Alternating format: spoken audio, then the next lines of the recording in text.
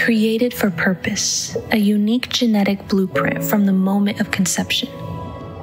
DNA woven together to determine gender, eye color, hair color, fearfully and wonderfully made, valued beyond measure.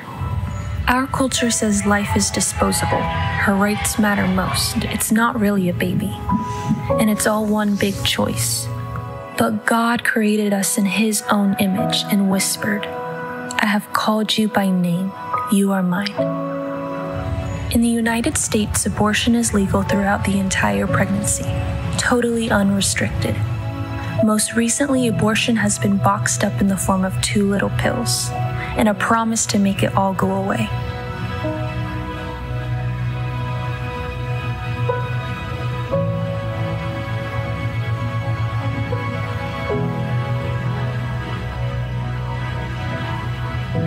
What will you do to make a difference for life? How can you be a voice? Will you help save a life?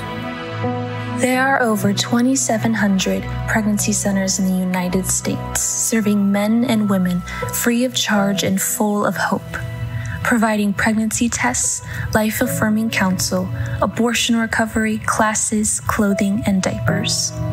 Many centers offer the first glimpse of a woman's baby in the womb, displaying the magnificence of creation and the precious beats of a tiny heart perfectly formed and fashioned by the one who created them. They serve faithfully, love well, encourage. They are hope dealers. They need volunteers, your prayers, and your financial support. Will you please give generously and help make a difference for life today?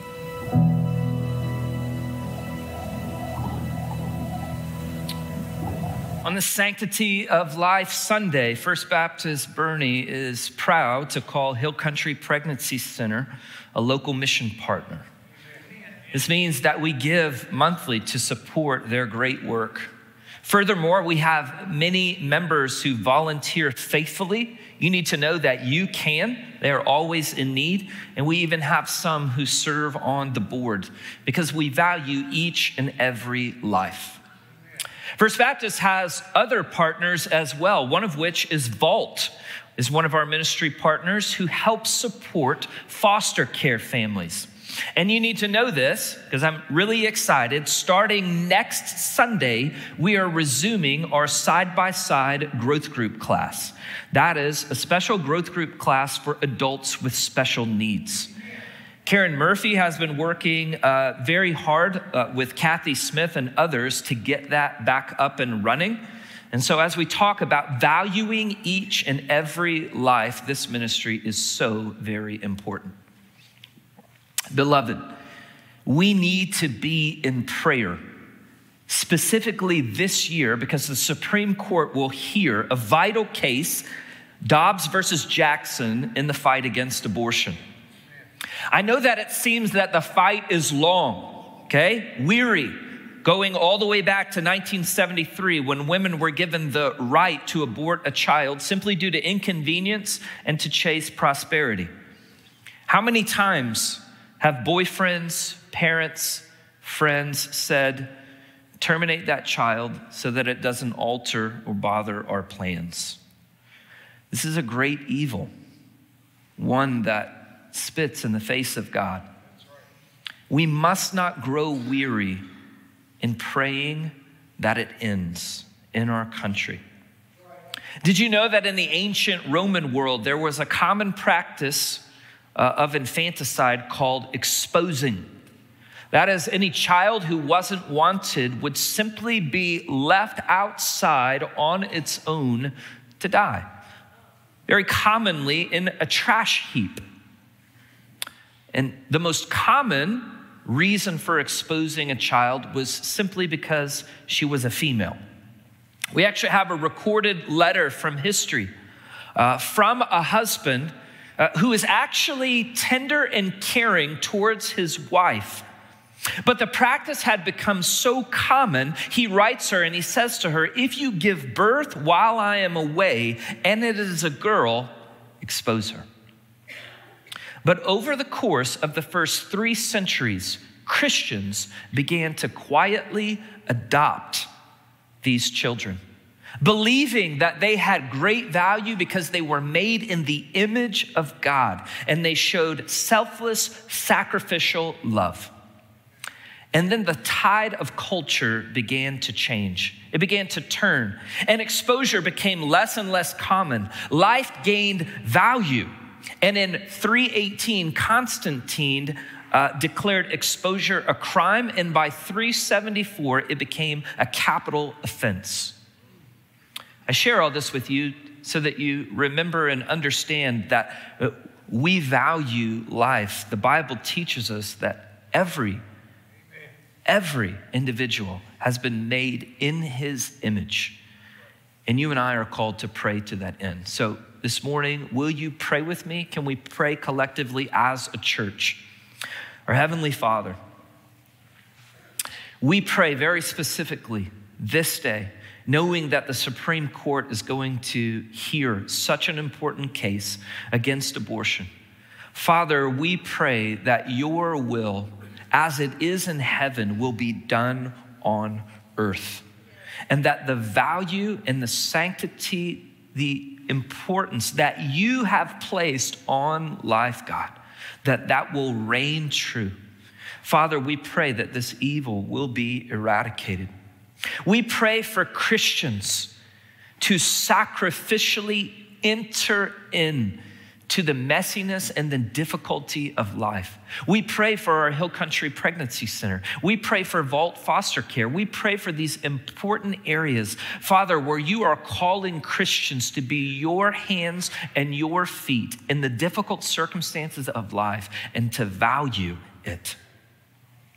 Father, we also pray for those women and those families who have been affected by abortion. Father, we pray that they would find healing at the foot of the cross, that you would heal and redeem, that you would be the lifter of heads, and that you would show life and a path forward. We pray all of this in the name of Jesus. Amen. Amen. All right, this morning we're going to be beginning a, a new sermon series uh, so turn with me in your Bible to the book of Psalms. Okay, Psalm 139. There's a Bible in the pew rack in front of you if you do not have one. Uh, please take that, make it a gift from us. But we're going to be walking through uh, an assorted uh, section of Psalms, mainly because what the Psalms teach us is how to find God in the midst of the messiness of life. You need to hear me say, as your pastor, I continually read through the Psalms. So, my personal reading plan, I read somewhere in the New Testament, somewhere in the Old Testament, and I continually read through the Psalms because the Psalms make sure that your heart is tender and connected, that you are in love with God in a personal relationship. Okay? Now, Psalm 139, some of you may have rolled your eyes because you have seen this and all of these verses cross stitched on a pillow, and you think uh, this is far too feminine of a psalm. But the reality is, is this psalm is filled with the riches of life of God's word. Okay? And so I need you to stand out of respect and honor for God's word as we read Psalm 139, okay? But let me give you this final quick warning before we read it. I want you to listen for um, it's anthropomorphic language. I know, giant word that just means that God is humanized here. So the God who already knows all, already is present everywhere, Listen to the way the psalm describes him as a heavenly father that is in pursuit of us. Because if we will get that to move from here to here, everything changes. All right, so listen, Psalm 139, I'm reading out of the New American Standard, says, O Lord, you have searched me and known me. You know when I sit down and when I rise up. You understand my thoughts from afar. You scrutinize my path and my lying down, and are intimately acquainted with all my ways. Even before there is a word on my tongue, behold, O Lord, you know it all. You have enclosed me behind and before and laid your hand upon me. Such knowledge is too wonderful me. It is, it is too high. I cannot attain to it. Where can I go from your spirit? Or where can I flee from your presence? If I ascend to heaven, you are there. If I make my bed in Sheol, behold, you are there. If I take the wings of the dawn and I dwell in the remotest part of the sea, even there your hand will lead me, your right hand will lay hold of me. If I say, Surely the darkness will overwhelm me, and the light around me will be night, even the darkness is not dark to you, and the night is as bright as the day. Darkness and light are alike to you. For you formed my inward parts. You wove me in my mother's womb. I will give thanks to you, for I am fearfully and wonderfully made. Wonderful are your works, and my soul knows it very well. My frame was not hidden from you when I was made in secret and skillfully wrought in the depths of the earth. Your eyes have seen my unformed substance, and in your book were written all the days that were ordained for me, when as yet there was not one of them. How precious are your thoughts to me, O God. How vast is the sum of them. If I should count them, they would outnumber the sand. When I wake, you are still, I am still with you. Oh, that you would slay the wicked, O God. Depart from me, therefore, men of bloodshed, for they speak against you wickedly, and your enemies take your name in vain. Do I not hate those who hate you, O Lord? And do I not loathe those who rise up against you? I hate them with the utmost hatred, and they have become my enemies. Search me, O God, and know my heart. Try me and know any anxious and know my anxious thoughts, and see if there is any hurtful way in me, and lead me in the everlasting way. You may be seated.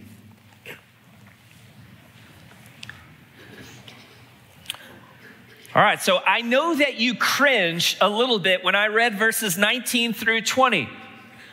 Uh, sorry, 19 through 22. And you said in your mind, well, that is not very nice, okay? Most often, preachers just exclude that entire section, right? We're just gonna stop at 18 and then we might skip down uh, to the final two verses. But here's the deal you need to understand that as we read the Psalms, that many of them are written out of specific life situations.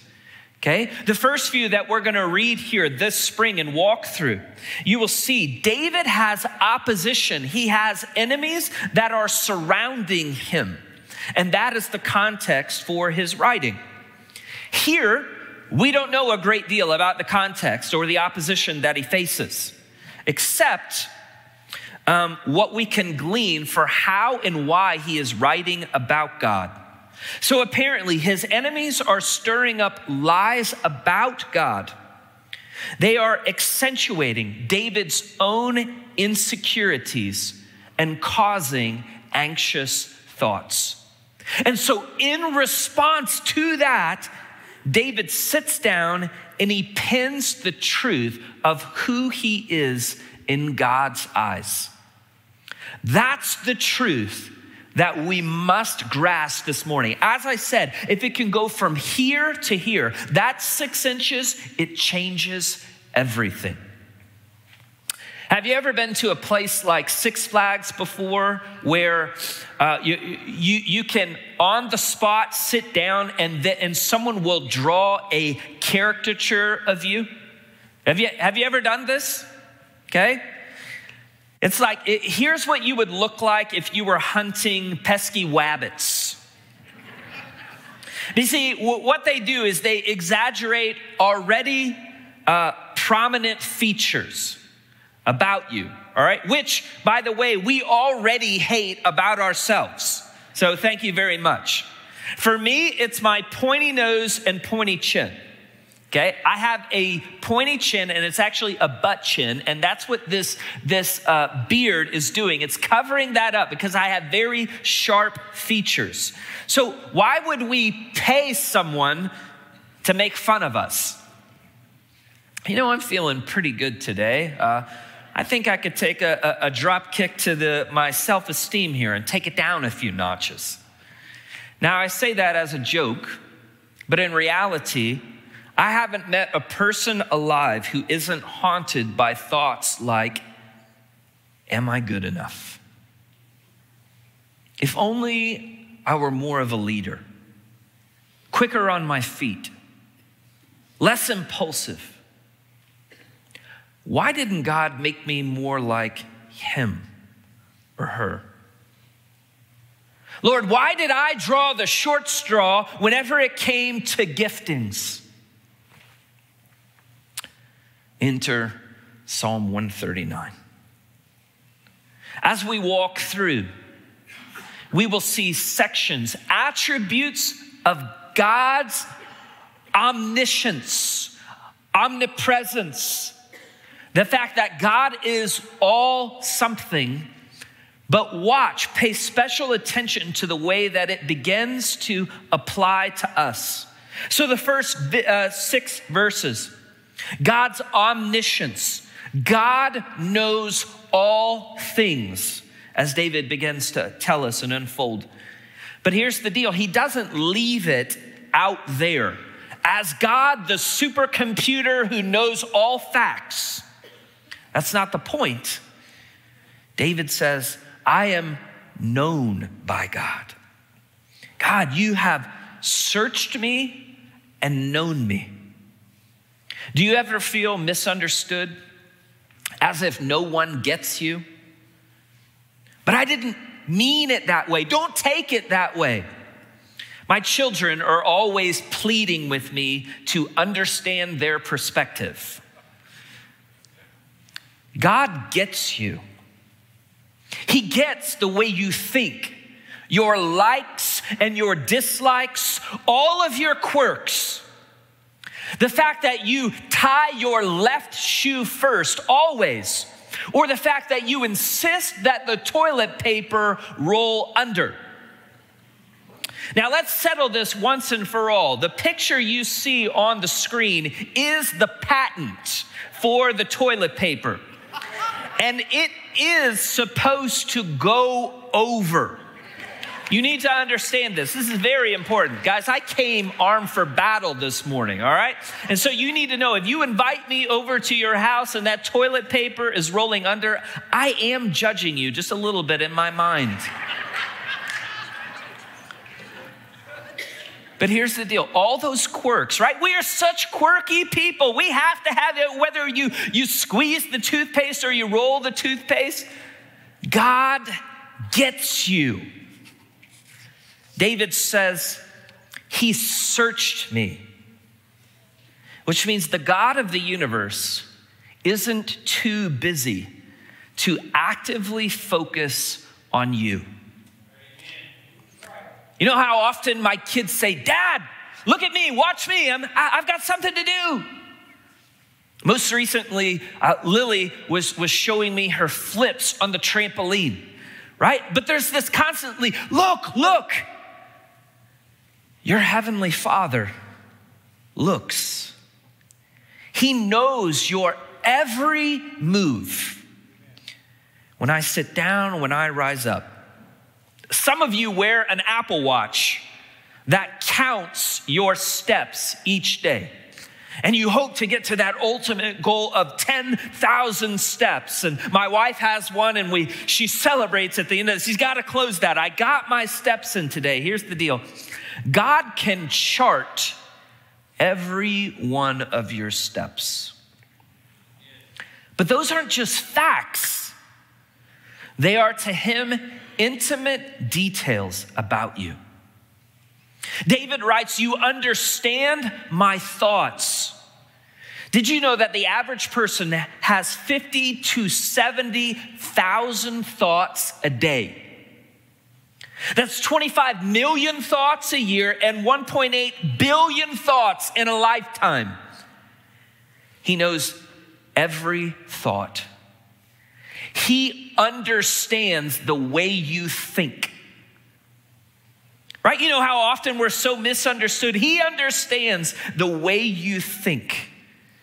David says, Every word before I speak it. Here's another fun fact Did you know that men in an average day will speak 7,000 words? Anticipation here, right? Women speak on an average day 20,000 words. That means women will speak 300 million words in a lifetime. Now, women, I don't get that. I don't get that. And you don't understand how men could, could go on a three hour car ride and you say, Oh, well, what did you guys talk about? Nothing? Nothing. But God does. God gets that. He is intimately equated with all of our ways, all of them, even your sins. You see, I, uh, when I talk about how God knows everything, everything you think, even the words before they come out, He knows it all. That could that could be comforting, but that could at the same time be haunting. That could be that can be convicting. We, we, we could have, you mean he knows all of my thoughts? I just want to hide. There is not, no one would be my friend if they knew everything that I thought. But listen to this Look at verse 5. After it say, says all of that, it says, You place your hand upon me.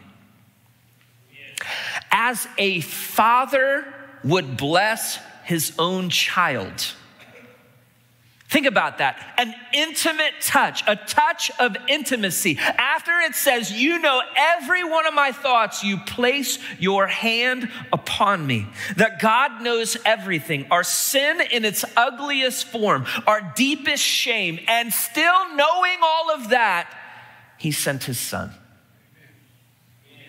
That's the intimacy here. Verses 7 through 12, it begins to talk about God's omnipresence. God is everywhere. There is nowhere that is not his domain that he is not. But it applies it to us.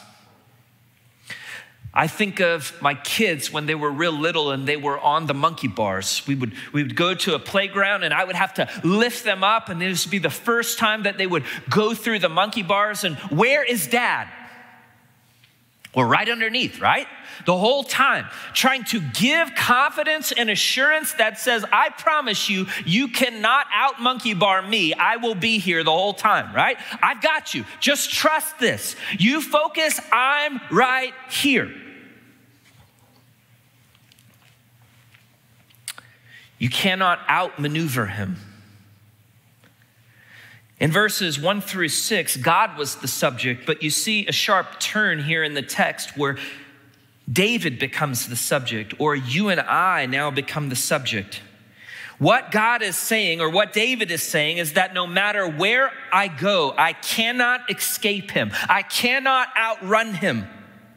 There's nowhere that is not his domain. If I go to the highest mountain, which by the way is 29,000 feet above sea level, you are there.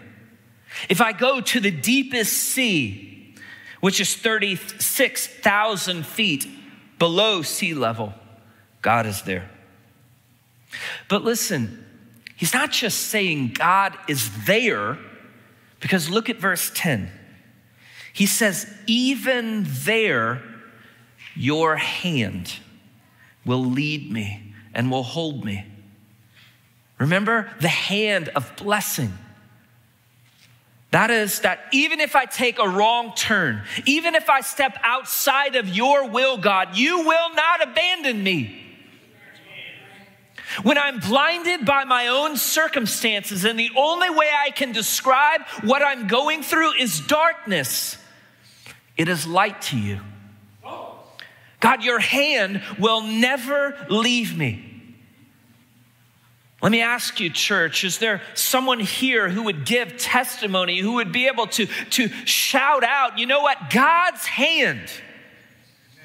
When the path was dark and you did not know the way, His hand. When you were drowning in the deep of your own sin, His hand. When you were financially backed into a corner, His hand. When every door was closed and you were forced to wait, His hand. When health failed and pain demanded to be heard, His hand. When the sorrow of death swept over like the sea billows roll, His hand. That, yes, God, the darkness is light to you, and your hand will lead me, and you will not forsake me. Verses 13 through 16. David moves into the intimacy of being made specifically by God. The God, you formed me in my mother's womb. You were there when I when my heart did its first beat 6 weeks inside my mother's womb. The first hiccup at 11 weeks. The first time we dreamed and declared, I am fearfully and wonderfully made. Made in the image of God. You see, Lily wants straight hair. Ian always wanted spiky hair. And daddy just wants his hair back. but everyone wants to be somebody else. A little taller, a little narrower. But God knit you. God knit you. Did you know science is still discovering insane, just ridiculous facts? Did you know that inside one single cell, there is six feet of DNA?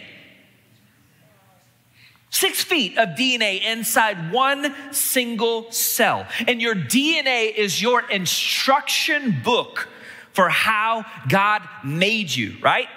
It, it, it tells you, uh, it, it's the instruction book of I'm supposed to, at, at 41 years of age, look like this, okay? Probably a little slender, all right? The average person has 37 trillion cells. That's 22 trill, uh, that's 222 trillion feet of DNA or 42 billion miles of genetic information rolled up inside of you. Catch this, that's the distance from the sun to Pluto 11 times.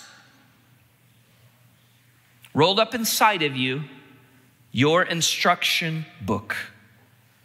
Because God knit you in your mother's womb. You may be thinking, Pastor, this sure is man centered teaching, but I'm just following the psalm. I'm just following the psalm. Which, which just exclaims this, this magnificent truth. How can the all knowing, ever present God be that mindful of me? But He is.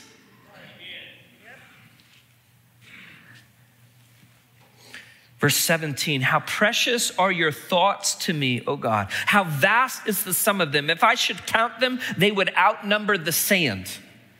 All right, one last mind numbing fact. All right, you, you can Google this. That's how I found it. All right.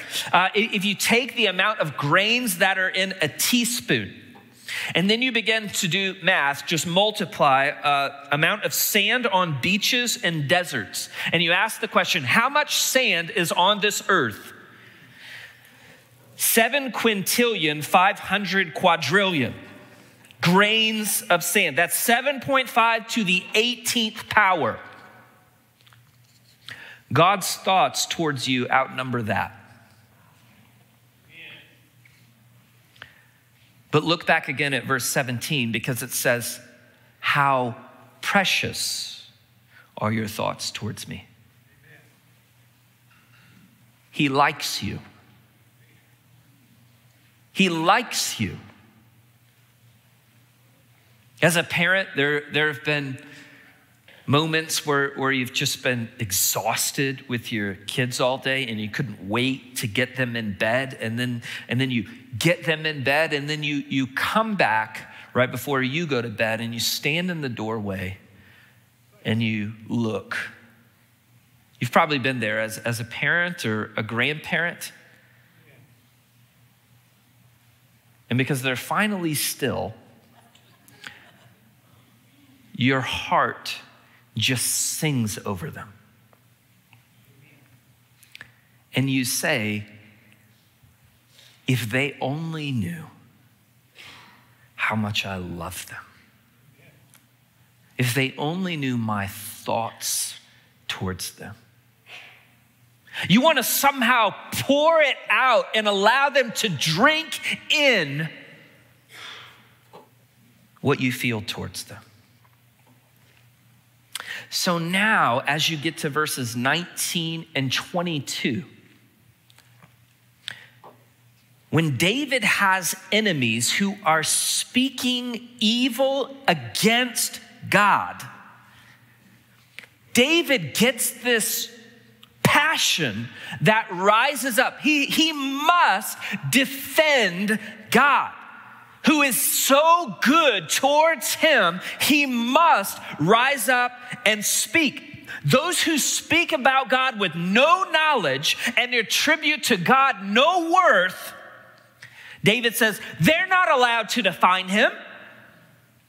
They will not be the ones who speak about who God is or how he is. No, no, no. Let me tell you about my Jesus. Let me tell you. That's why David rises up with so much passion.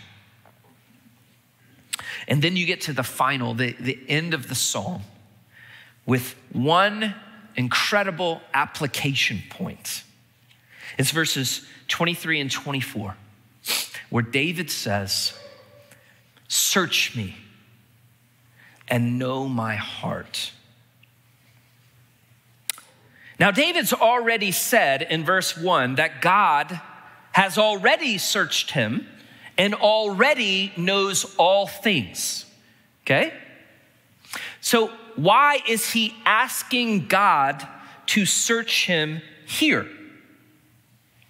Catch this. You see, because David already knows the truth up here about who he is in God's eyes but he's having a hard time believing it. Do you? You see, he knows that there is a difference between our head knowledge and our heart knowledge. And he's asking God to reveal in him to if there is any unbelief, if there are any anxious thoughts inside of him. You see, we are strange creatures whenever we think about how we carry around the wounds of our enemies. All right, someone insulted you a month ago, and you can't tell enough people about it. A hundred people tell me great sermon, one person tells me it stinks. What do I remember? We carry these wounds around like baggage. And that ultimately result in us being angry and hurtful or insecure and anxious. This is why David says, Reveal to me if I have any anxious or hurtful thoughts. Look proportionately at the amount of space that the psalmist gives to God's words versus his enemies. The question is, is who are you listening to? Are you listening to what the king of the universe says about you? Or to someone who wakes up with stinky breath and needs to take naps?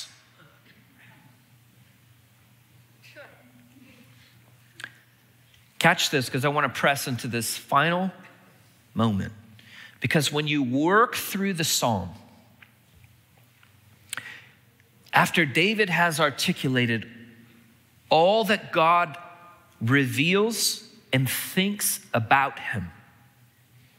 and you contrast that to the enemies, David, at the very end, he, he stands before God in this most incredible, vulnerable moment and says, God, would you search me? And would you reveal to me? Even though God already knows, it's David's response God, would you search me? And would you know me? That is, he trusts the Father that now he is welcoming him in for examination. Would you do that this morning? Would we, as God's people, be willing to open up and be vulnerable and say to the Holy Spirit, Would you search my heart and my thoughts? Would you see if there is any unbelief? Am I believing the lies of the enemy? Am I giving more weight and credence to what the enemies of God think rather than what you think? God, would you stir me with the affections for Jesus? Because when that happens, everything changes. When it moves from our head to our heart, suddenly we begin to overflow and live out the love of God. Would you pray with me? Our Heavenly Father, we do in a moment of vulnerability and quietness right now, all across this room, say to you, Search me. Would you reveal if there's any unbelief in us?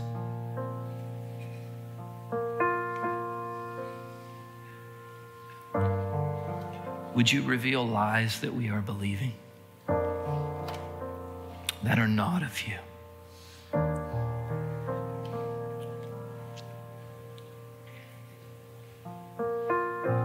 Father, I know all across this room there are those that have deep hurts and wounds from. The way that they relate to their parents, the way that they relate to their spouse and their children,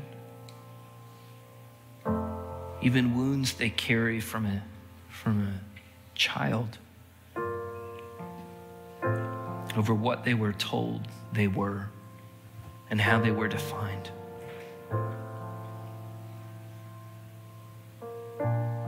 Father, would you speak life into the depth of their soul? That they are not a mistake, that you have knit them, and that you sing over them. You have given your son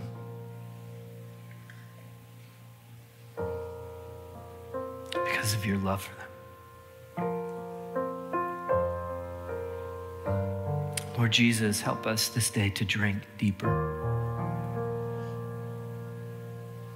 to walk out changed, because we know you more. We pray that in Jesus' name.